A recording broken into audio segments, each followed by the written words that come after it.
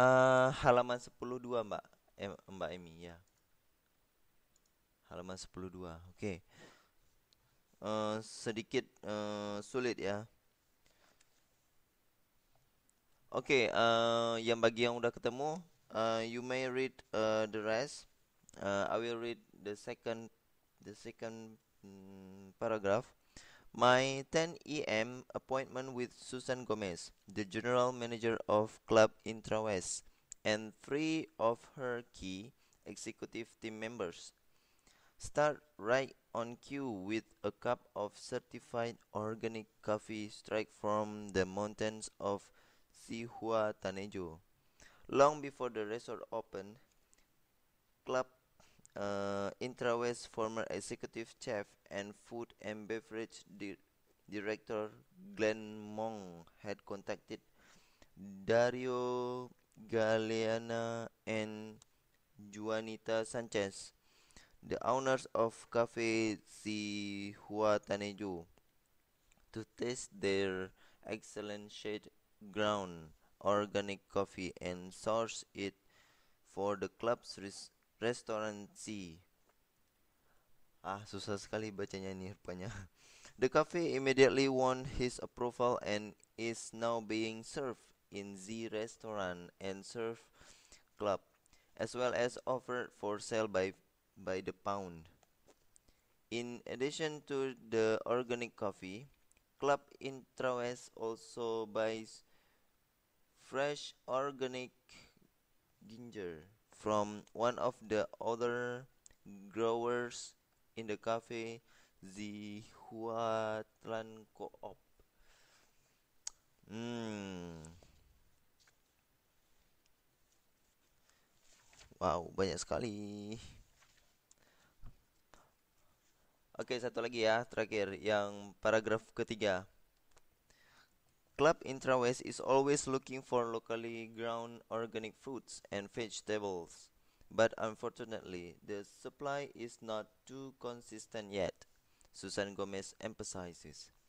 Buying locally grown organic food is not only good for people's health and for the environment, it also supports the local economy by helping local growers and saves on transportation and fuel costs. In the meantime, the club is beginning to experiment with its on-site organic kitchen herb and vegetable garden. In the club's own nursery, all of its or ornamental plants and flowers are grown as well as some fruit trees. This is a great education, especially for the kids who visit us, Susan adds. Some of them have never seen a banana outside of the supermarket before, so it is great for them to see them growing from a tree. So, sini aja dulu ya, oke? Okay? Kita balik lagi ke paragraf pertama. The greening, uh, titlenya dulu, The Greening of La Ropa Beach. Kira-kira artinya gimana nih? the greening the greening of La Ropa Beach.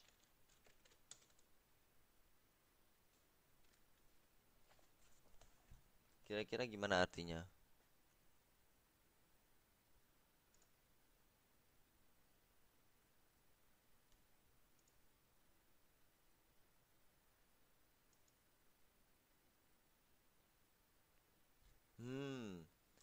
penghijauan di pantai La Ropa. Ya, ya, bisa, bisa, bisa, bisa.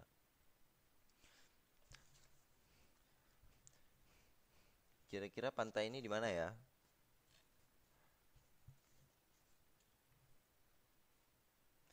Kira-kira pantai La Ropa ini letaknya di daerah mana? Coba tebak. Guess. I don't know either. Ropa, Hindia. Hmm. Ada lagi yang lain mungkin. hmm, Ropa, Ropa saya pun nggak tahu di mana La Ropa Beach. Itu nama beach ya, nama pantai La Ropa. kemungkinan besar berada di sebelahnya Amerika Latin. Ya, di Amerika daerah daerah Meksiko itu atau daerah ya pokoknya daerah Amerika Latin. Karena melihat nama-namanya ini yang yang seperti Sanchez tadi kemudian Zihua Tanejo itu nama-nama orang Amerika Latin. Nama pantai yang ada di Eropa. Oh berarti dekat Spanyol dong? Ya sekitaran itu. Kalau misalnya uh, nama-namanya yang seperti ini kemungkinan besar kalau di daerah Eropa pasti um, daerah Spanyol. Kemungkinan besar ya. Saya pun nggak tahu. Nanti Google kita Google aja. Right and so here we have a quote from Mahatma Gandhi. Uh, he said that you have to be the change you want to see in the world. Apakah artinya? Bagaimana cara mentranslate ini? You have to be the change you want to see in the world Kira-kira gimana menerjemahkan ini?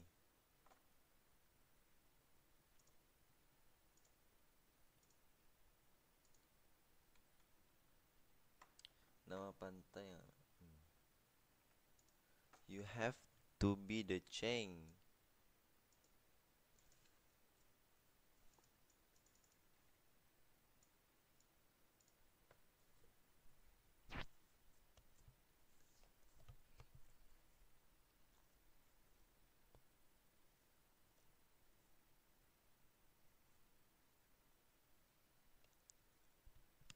Kira-kira gimana? You have to be the change you want to see in the world. How to translate this?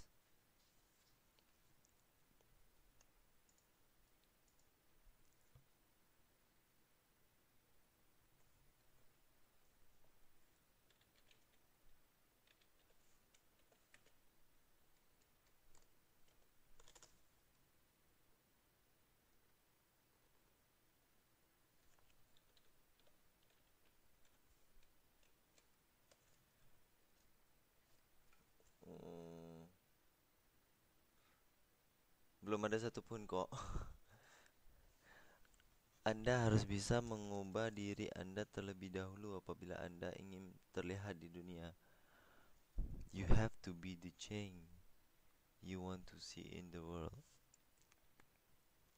You have to be the change you want to see in the world.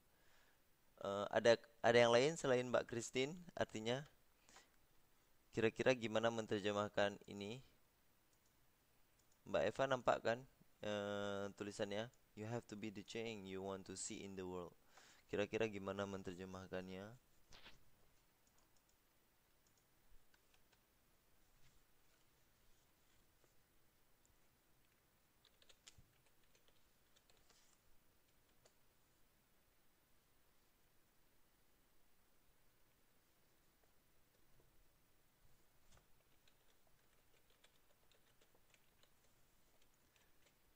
Adakah yang lain? Mbak Ani, Mbak Wati, Mbak Eva, Mbak Emi.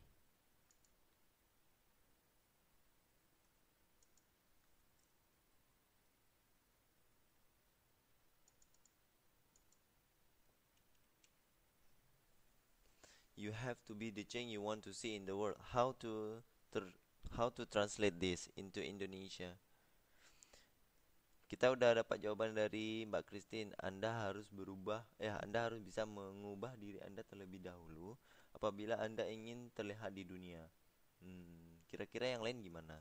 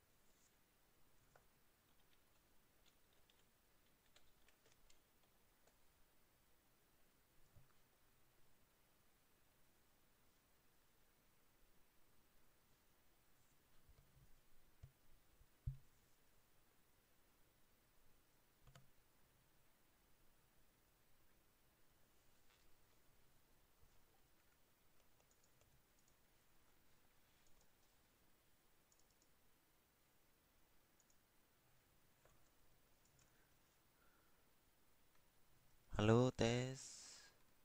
Yang yang lain bel kamu harus dapat mengubah bila kamu ingin kamu harus merubah apa yang ingin kamu lihat di dunia ini. Ah, you have to be the change you want to see in the world. Kamu harus merubah apa yang ingin kamu lihat di dunia ini. Ah, bisa jadi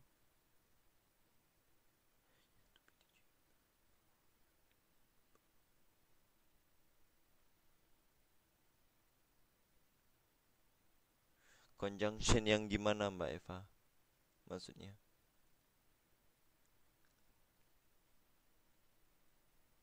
Yang yang ya, pakai yang ya gitu maksudnya.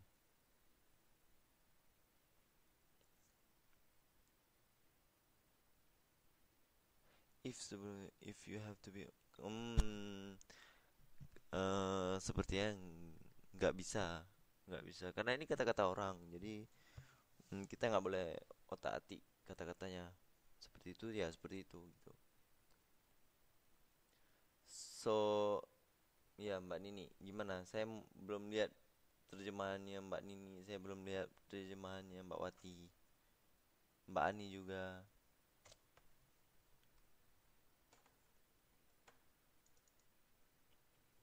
berubahlah kamu akan melihat dunia. Maksudnya Satria Wijaya Hitam berubahlah kamu. Bercanda mbak. Oke uh, berubahlah kamu akan melihat dunia. Hmm gimana ya maksudnya itu ya? Makin sulit. Se berubahlah kamu akan melihat dunia hmm berubahlah kamu Hayya. So, um,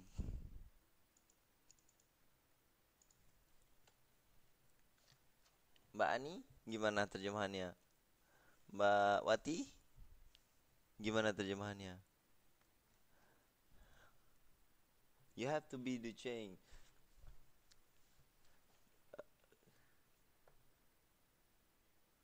Change di sini kata benda nih. Tadi bukan kata kerja. Kalau mengubah itu maknanya kan kata kerja. Merubah itu juga kata kerja. Change di sini fungsinya sebagai apa? Nah, dia sebagai noun. Dia di situ sebagai noun. Ya, itu dia. You have to be the change. Dia sebagai noun.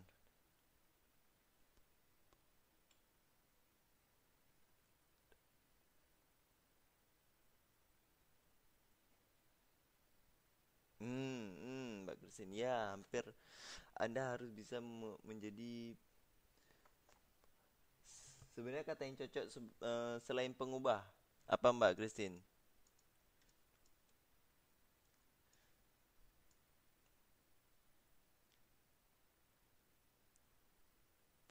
Selain pengganti. Itu kalau caleg zaman-zaman sekarang tuh menggunakan kata itu sering sekali caleg di